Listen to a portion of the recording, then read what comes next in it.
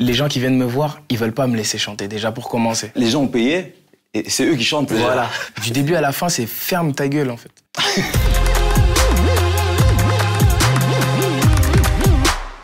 Elle veut qu'on s'en aille vivre au pays de Bob Marley. Vivre une vie de star un peu comme Bob Marley. Je lui ai dit ralenti, je suis pas Bob Marley. Quand on sera sûr de nous, on pourra bombarder. Elle de Bob Marley. Vivre une vie de star un peu comme Bob Marley. Tu fais de la pop urbaine. Ouais. Euh, c'est quoi exactement la, la pop urbaine? C'est finalement un terme euh, un peu vague, j'ai l'impression.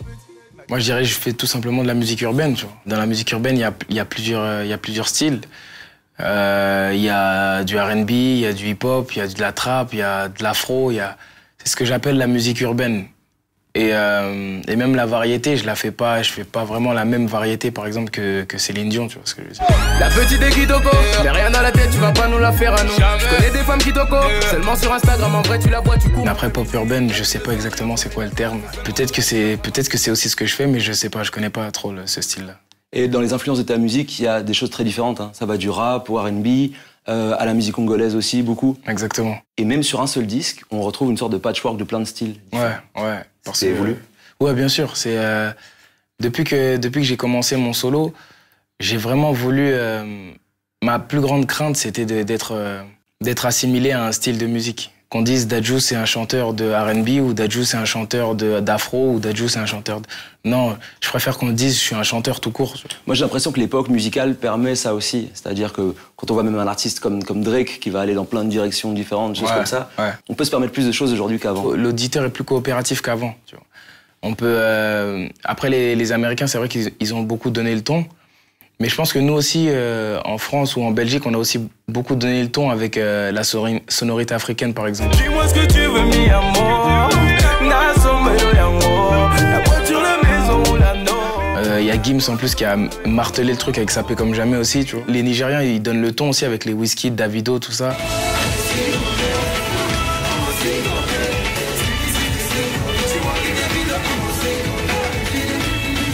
Les Congolais, ils sont toujours dans, dans, dans leur esprit rumba et Fali qui a commencé à, à faire de la rumba en français et tout ça. Ma chérie, elle a des secrets dans le cœur. Ma chérie, elle a des regrets, des rancœurs. Les Ivoiriens aussi, pendant les ambianceurs. Exactement. Et ce qui fait que la musique africaine est beaucoup, beaucoup, beaucoup plus présente qu'avant. Et il y a beaucoup plus d'artistes africains qu'avant aussi, tu vois. Moi, ce qui m'a plu sur ton album, c'est que ça, j'ai senti que t'écoutes vraiment cette musique. Si on parle de la musique congolaise, par exemple, Ouais. Ça sent vraiment que c'est pas de l'opportunisme, c'est une musique qui, en tout cas, d'après ce que moi j'écoute, Ouais. t'a vraiment bercé. On est dans l'afro depuis longtemps. Maintenant, euh, j'ai plus de notoriété. Ouais. Donc voilà, je le remets au, je le remets au goût du jour. Ce que j'ai assimilé, j'essaye de le pimper un peu, de rajouter un petit truc de 2017, un petit truc de 2018, tu vois. Encore une fois, comme Gims il a fait, tu vois. Essayer de mettre ça, l'élever encore un peu plus, tu vois. Élever la musique africaine un peu plus. Et dans le morceau avec, euh, avec euh, Que Black et Fali Poupa, Ouais. tu termines le morceau par une séance incroyable de. Je sais jamais si on dit Mabanga ou Libanga. Mabanga, ouais. Mabanga. Libanga, c'est euh, c'est euh, c'est singulier et Mabanga, c'est Voilà. pluriel. Est-ce que tu peux expliquer à nos internautes de Tchèque qu'est-ce que qu'est-ce que c'est exactement les Mabanga? En fait, c'est des dédicaces. Tout le monde sait, dans les musiques congolaises qui durent 10 minutes, pendant le son, il y a toujours un moment où, soit c'est au milieu, soit au début, ou des- parfois c'est à la fin, il y a toujours des dédicaces. Quand j'ai fait le son euh, Trouver la moi, quand, j'ai, quand je, l'ai, je l'ai commencé le son, avant même de faire l'instru, je savais que je voulais faire un son avec que Black et Fali. Et je me suis dit quoi? Je me suis dit, à la fin, je veux partir en dédicace. Je dédicace tous les Congolais que je connais. Zongisa. Dalida Mamana. Queen Mother. Sokiyote Nanyango. Juna Janana, le grand prêtre. Même un gars de Bruxelles d'ailleurs. Ouais, hein, c'est mon cousin en fait. Ah voilà. C'est mon cousin euh, Rudy. Dédicace à toi, Rudy. Donc, euh, j'ai parce que j'ai- grandi aussi un peu avec lui, en- vu que je venais souvent en Belgique. Il m'emmenait un peu partout, euh, manger des durum, tout ça. Connaisseur. Ouais. il il, il m'a un peu euh, élevé en quelque sorte, tu vois. Et je me suis dit, même si le son il doit durer 8 minutes, 10 minutes, je m'en fous, parce que c'est comme ça en fait. T'es pas encore au level de Kofi ou autres qui peuvent parfois faire des 3 minutes de dédicace. et Ah ouais, non, minutes. ouais. Des- parfois c'est des 10 minutes. hein. Parfois, c'est- ouais, c'est tout le morceau entier, C'est le morceau entier, ouais, il dédicace. tu vois. Je suis pas à ce niveau-là, mais, Mais en tout cas, ça m'a fait plaisir et c'était pour- important pour moi de faire En ça. plus, c'est- ça permet d'aller au bout de la démarche. Ouais. Pas s'arrêter juste à se dire ah mais l'auditeur euh, européen ou français il Ouais, connaît bah oui. pas. Ouais, bah oui. Là, j'ai- franchement, très honnêtement, j'ai vraiment fait ce son pour le bled. Qu'est-ce qui te lie alors à, à Bruxelles? Tu dis donc t'as de la famille ici, c'est euh, c'est une ville Ouais. que je connais bien. Bien sûr. Bah, euh, Bruxelles, c'est le Congo, en fait. hein. Bruxelles, c'est le Congo. Il y a beaucoup de Congolais ici. Et euh, j'ai beaucoup de, il y a beaucoup de sœurs à ma mère, des cousines à ma mère, des oncles à moi, il y a il- des amis proches à mon père qui sont, qui sont là. Donc tout le temps, tout le temps. Avant, c'était chaque semaine, j'étais ici. Tous Ah les ouais week-ends, j'étais à, j'étais à Bruxelles, je venais, on me laissait ici et je rentrais euh, lundi, tu vois. J'ai grandi un peu ici, j'ai appris à faire du roller ici. Franchement, j'ai j'ai plein de bons souvenirs à, à Bruxelles. T'es un artiste hyper productif. Ouais. J'ai lu partout. Alors on va enfin pouvoir savoir si c'est vrai que t'avais enregistré 250 morceaux. Si, c'est vrai, c'est vrai, c'est vrai. Mais tu, tu les utiliseras pas tous. Enfin, quoique, Ouais, il y en a certains plein. font des albums de 40 morceaux, donc euh, peut-être. euh, Ils sont fous, ceux qui font des albums de 40 Ouais, un morceaux. peu, hein. Euh, non, c'est. euh, franchement, je pense honnêtement qu'il y a des sons qui vont mourir, tout simplement. Ils vont, ils vont tout simplement jamais sortir, tu vois. Je peux Ouais. pas sortir tous, tous ces sons. Ton, plus gros, euh, ton plus gros hit, c'est euh, Rennes. Pas besoin d'attendre plus longtemps, je sais qu'il est temps de partager mon sang et d'élever au rang de reine, au rang de reine, au rang de reine. Est-ce que tu t'es dit, avec la guitare, c'est sûr que ça va marcher? Bah, tu sais quoi, c'est la première fois que je faisais un son, euh, que je sortais un son guitare-voix. Ah j'avais ouais. jamais, j'avais jamais fait ça, tu vois. Et euh, donc, j'étais pas du tout sûr. J'étais pas du tout Ah, sûr. tu Et- penses- tu t'es demandé comment le public allait réagir un peu? Non, je me suis rien demandé en fait. Je me suis dit, je vais le sortir et puis Ouais. après, c'est tout. Boum, explosion. Il sort, il est, il est numéro un au top, euh, top iTunes. Euh, tout, euh, tout le monde en parle. Je le vois dans, sur tous les réseaux sociaux. Ça a tellement choqué les gens que tout le monde a dit que je, je- je- je trichais en fait. tu vois. Il sort de nulle part, il sort son premier son parce que c'était mon premier son officiel. Ouais, ouais. Et il est numéro un sur iTunes. Et à cette époque-là, j'étais en indépendant, j'étais euh, pas signé en maison de disque. Donc tout le monde s'est dit, mais lui, c'est un tricheur, c'est sûr et certain.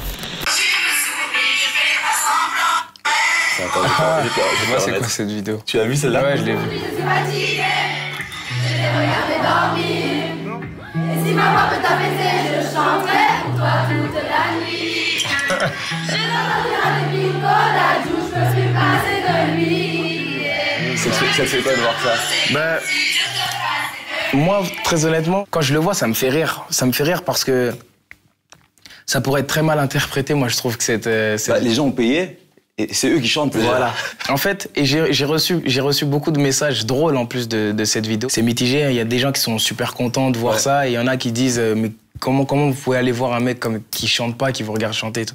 En fait, ce qui se passe à mon concert, c'est quoi? C'est que très honnêtement, mais les gens qui viennent me voir, ils veulent pas me laisser chanter déjà pour commencer. Ils me laissent pas chanter plusieurs fois. Je suis obligé de couper pour leur dire attendez, je vais chanter. tu vois. Ouais. Je- c'est- plusieurs fois, ça m'arrive de faire ça. Tu sais, quand t'as fait quelque chose qui sort de ta, c'est quelque chose qui sort de ta tête. T'es allé au studio, tu t'es dit, je vais faire ça, je vais écrire comme ça, je vais faire ça. Après, t'arrives sur scène et tu vois qu'il y a des milliers de personnes devant toi qui sont en train de chanter ça par cœur. C'est un truc de ouf comme sensation. C'est pour ça que j'arrête pas de dire vraiment que j'ai vraiment le meilleur public. Je voyais ça que chez les Américains. Des sons, des concerts tout entiers où ils chantent de A à Z, tu vois. En plus, pour arriver à chanter ça en concert, imagine le nombre d'écoutes, ce que ça Le nombre représente dans d'écoutes, ta bah vie, oui. etc. Tu vois. Combien de fois tu l'as écouté pour le connaître par cœur comme ça de A à Z? Ah ouais, parce qu'en plus là, ils étaient à l'unisson. à, à l'unisson. Mais Ouais. ça, c'est ça, et, en- et ça, c'est vraiment ça, du début à la fin. Ah ouais Du début à la fin. Ça veut dire que je les aide pas, il y a rien. Du début à la fin, c'est ferme ta gueule, en fait. Je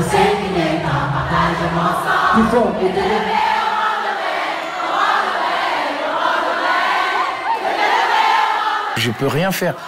Je peux rien faire. C'est eux qui doivent chanter. C'est eux qui chantent. Ils, font, ils me font ça sur Rennes, ils me font ça sur Bob Marley, pareil. Ah ouais. Je le chante, ils me laissent pas chanter. Je coupe le son, ils continuent de chanter euh, en acapella, sans son. Est-ce qu'il y a que des filles à tes concerts? La majorité. hein. Tu sais qu'à l'extérieur, il y a plus d'hommes que de femmes qui m'arrêtent pour prendre une photo. Parce que les hommes, ils se reconnaissent dans ce que je dis. Quand par exemple, je parle de tromperie, il y a tel ou tel mec qui va dire Ah, tu nous as cramé.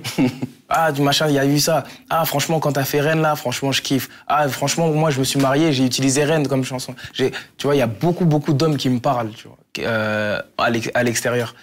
Mais euh, au concert, si tu viens à mon concert, c'est vraiment pour trouver l'amour, hein, parce que il y a 85-90% de femmes, franchement.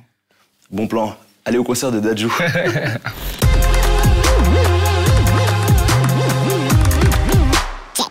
T'as vu, on a presque pas parlé de ton frère. Ouais, j'avoue. pas du tout même. Même pas du tout. Moi, j'en ai pas parlé.